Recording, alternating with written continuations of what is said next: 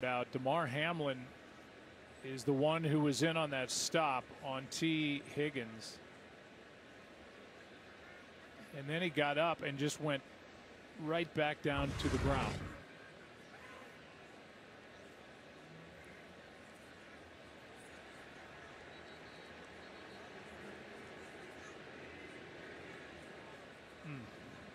That's uh,